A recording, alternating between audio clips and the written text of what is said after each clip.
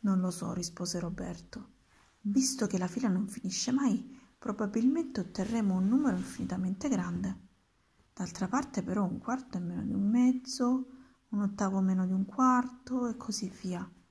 Quindi quello che aggiungo è sempre più piccolo. I numeri scomparvero dal soffitto.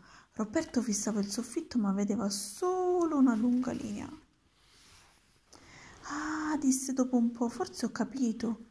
Si inizia con un mezzo, poi si aggiunge la metà di un mezzo, dunque un quarto, e quello che diceva comparve subito nero su bianco. E continuo, così aggiungo sempre la metà, la metà di un quarto e un ottavo, la metà di un ottavo e un sedicesimo, e così via. I pezzetti diventano sempre più piccoli e poi finiranno per essere così minuscoli che non potrò più vederli, un po' come con il chewing gum diviso.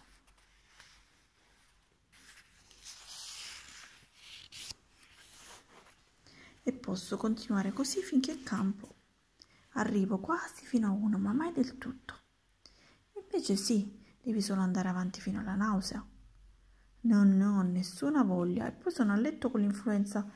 Comunque, aggiunse il vecchio, adesso sai come prosegue e che risultato si ottiene. Perché tu magari ti stanchi, ma i numeri no, non si stancano mai.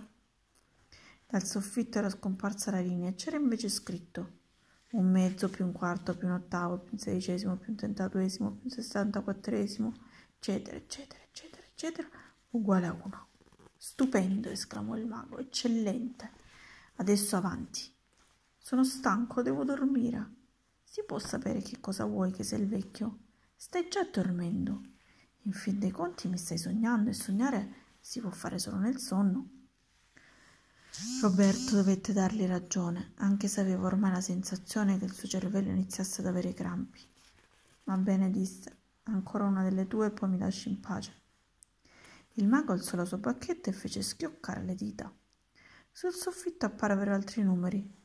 Un, ter- un mezzo più un terzo più un quarto più un quinto più un sesto più un settimo più un ottavo più eccetera eccetera uguale a lo stesso di prima disse Roberto anche questa fila posso sommarla finché voglio. Ogni nuovo numero è più piccolo di quello che lo precede. Alla fine probabilmente avremo di nuovo uno. Dici? Sarà meglio dare un'occhiata da vicino. Prendiamo i primi due numeri. Adesso sul soffitto c'erano solo i primi due elementi della fila. Un mezzo più un terzo. Quanto fa? Proporto Roberto. Non lo so. Non fare il furbo con me, più il mago.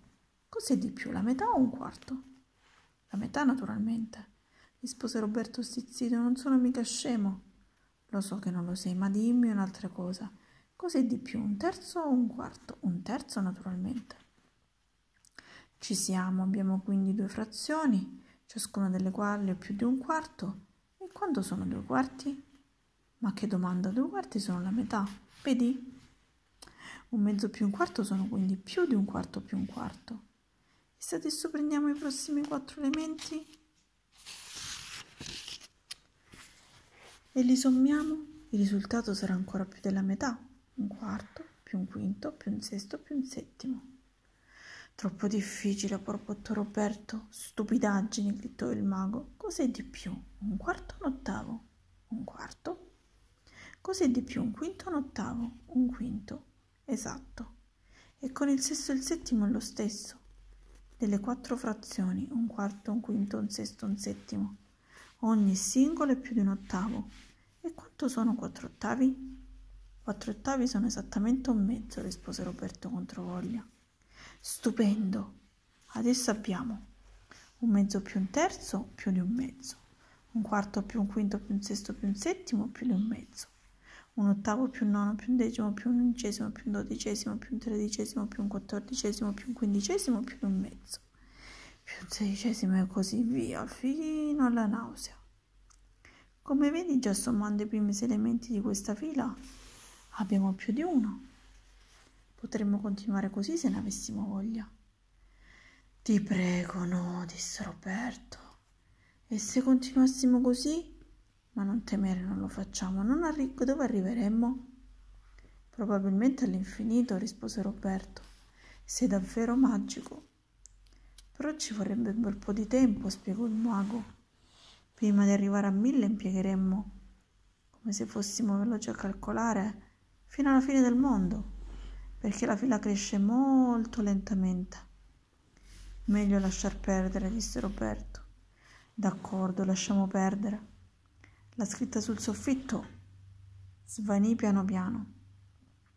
Il vecchio maestro scomparve senza fare rumore e il tempo passò.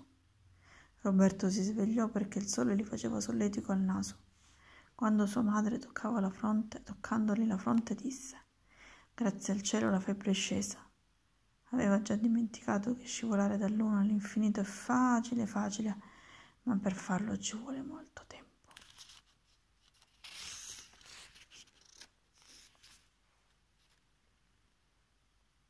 La decima notte. Roberto era seduto sul suo zainetto in mezzo alla neve. Continuava a nevicare e il freddo gli entrava nelle ossa. A perdita d'occhio non c'era una luce, una cosa, un essere umano. Era una vera e propria tempesta di neve. Ed era anche buio. Se non cambiava qualcosa, buonanotte. Mi sembrava di non sentire più le dita e non avevo idea di dove si trovasse. Forse al Polo Nord. Ormai livido per il freddo, Roberto cercava disperatamente di riscaldarsi dandosi dei colpetti.